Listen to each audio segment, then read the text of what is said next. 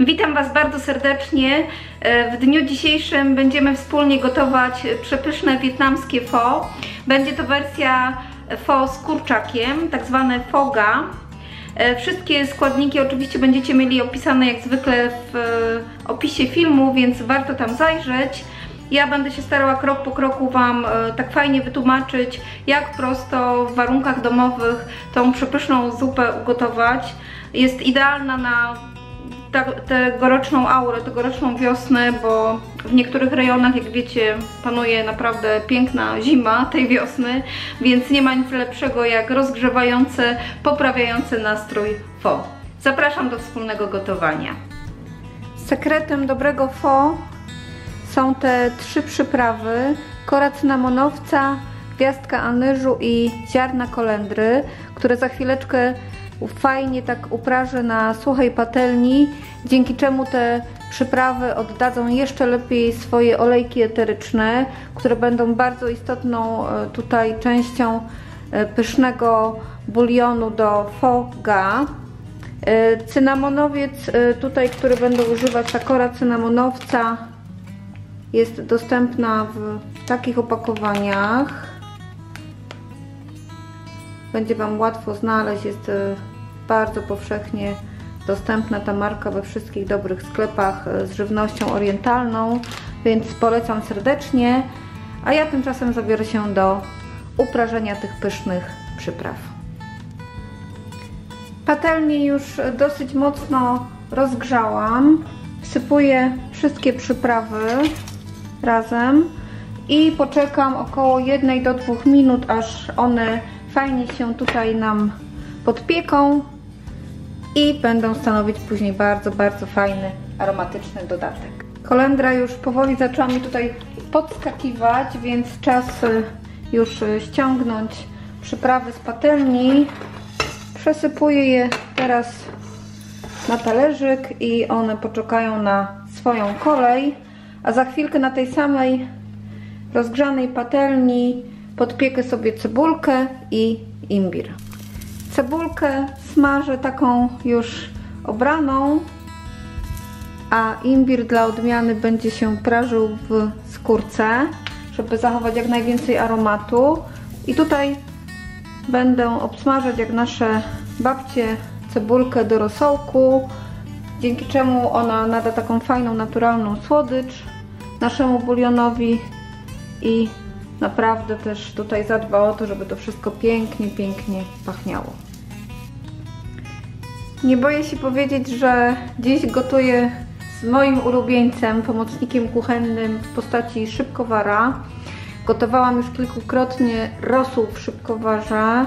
Wiem, że tutaj pewnie e, niektórzy mnie mogą, że tak powiem, e, oskarżyć o profanację, ponieważ rosół powinien być gotowany bardzo, bardzo długo na wolnym ogniu.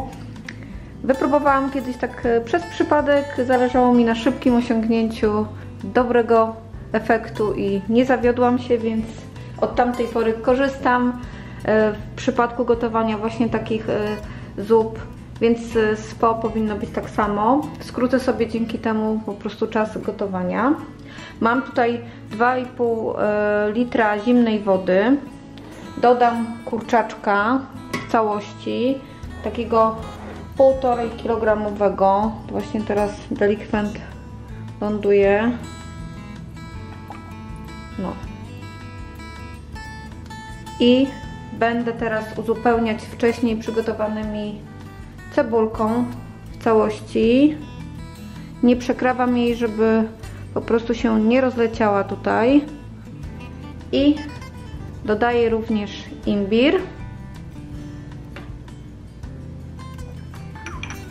Jeden taki spory kryształ cukru, takiego specjalnego, on się nazywa rock sugar. Sugar, sugar. Proszę bardzo. Pokazywałam już kiedyś opakowanie, ale bardzo proszę, macie jeszcze raz, żeby było łatwo go znaleźć. To jest idealny cukier właśnie do gotowania zup orientalnych. No i jeszcze rodzima sól, jedna łyżka stołowa. I teraz będę gotować ten wywar przez pół godziny. Akcja w moim szybkowarze już tutaj mocno się rozwinęła, więc sobie zmniejszę temperaturę i teraz właśnie zacznie się ten proces półgodzinnego gotowania. Jeżeli korzystacie ze zwykłego garnka, to gotujcie proszę przez półtorej godziny. W międzyczasie jak bulion się nam gotuje, możemy wykorzystać ten czas na przygotowanie bardzo istotnych dodatków do fond. Ja mam tutaj już na talerzu jedno opakowanie świeżych e, kiełków e, fasoli Moon. Teraz e, pokroję sobie na takie drobniutkie kawałeczki zieloną cebulkę. Ona będzie naprawdę fajnie dodawała słodyczy. Kolejna będzie papryczka chili, taka duża papryczka chili. Ja nie usuwam e, w ogóle nasion z papryczki, dlatego że lubię ostre, ostre potrawy, więc tutaj specjalnie sobie tak zostawię. Mam przygotowaną też jedną limonkę. Kroję ją na takie ćwiarteczki.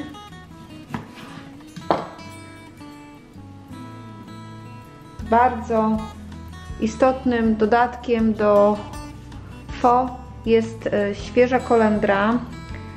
Już spotkałam się z e, takimi wersjami podania z pietruszką, ale nie idźcie w ogóle tą drogą, bo niestety fo, prawdziwe fo pietruszki akurat tutaj jako zastępnika nie uznaję.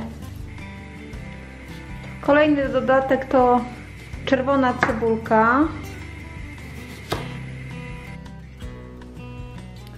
Obok tych e, cudowności na talerzu bardzo ważnym dodatkiem e, do fo e, są dwa sosy, a przede wszystkim ten sos sriracha.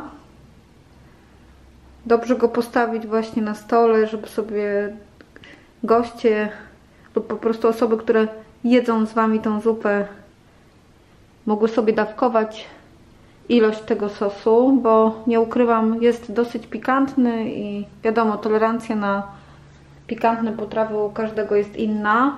Ja też e, często sobie dodaję smaku tutaj sambal olek tą przyprawą, tym sosikiem.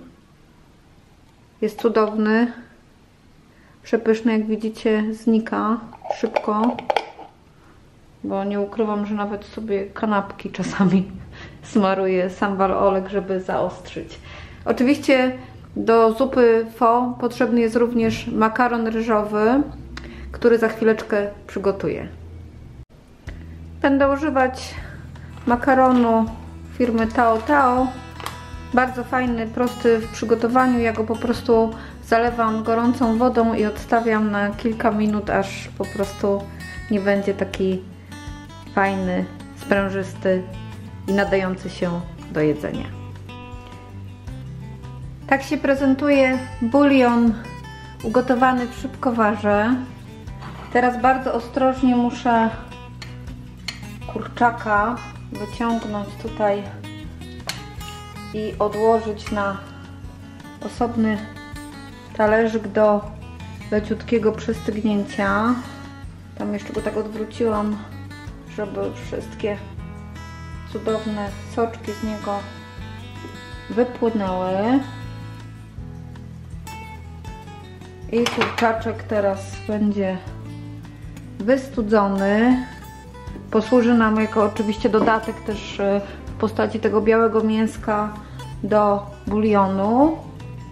I czas na uprażony na samym początku kory cynamonowca, anyż i ziarna kolendry które teraz będę na wolniutkim ogniu razem z bulionem tutaj gotować przez 20 do 30 minut. Kurczaczek jest już troszeczkę wystudzony. Ja mam w sumie azbestowe ręce, więc mogę już ubierać. Nie będę się tutaj bawić w żadne widelce. Po prostu będę sobie łapkami go rozdzielać. Bulion jest już gotowy. Czas delikatnie po wyciągać wszystkie przyprawy, które się tutaj gotowały i nadawały cudownego smaku. Przyprawy już wyciągnięte. Ja jeszcze tutaj przez sitko spróbuję przecisnąć troszkę cennych aromatów, które pozostały w cebulce zwłaszcza. Szkoda by było, bo naprawdę są na wagę złota. I za chwilkę będę doprawiać sosem rybnym. Sos rybny to bardzo ważny dodatek do fo. Ja osobiście nie lubię bardzo jego zapachu. Nie znam nikogo, kto lubi, ale wiele osób po prostu lubi jego smak. Dodam dwie łyżki bardzo ostrożnie, bo naprawdę nie chciałabym sobie go rozlać gdzieś w kuchni, bo jeśli Wam się rozleje, to szczerze, niezłośliwie życzę powodzenia w sprzątaniu. No i nadszedł chyba najprzyjemniejszy moment. Dobrnęliśmy do końca. Teraz pora poukładać składniki wcześniej przygotowane w misce. Na pierwszy ogień oczywiście makaron ryżowy. On tutaj zaraz po dodaniu gorącego bulionu się fajnie będzie prezentować. Nie żałujcie sobie kurczaczka. Spróbowałam, jest przepyszny, soczysty, przesiąknięty tymi wszystkimi dodatkami, w których e, miał przyjemność się gotować, bo to naprawdę prawdziwa przyjemność w takiej cebulce i w imbirze się gotować. Dymka. Ja oczywiście tutaj dodaję sobie dodatki, które lubię najbardziej. Tutaj to już jest jazda dowolna. Co lubicie, w jakich ilościach, to sobie serwujcie, nie żałujcie. Troszkę cebulki. Chili. Teraz sobie na pewno dodam więcej. Troszkę kolendry przed dodaniem jeszcze bulionu, ale ja będę na pewno sukcesywnie uzupełniać. Już na samą górę sobie za chwileczkę położę kiełki fasoli mung. No i oczywiście cudowny bulion.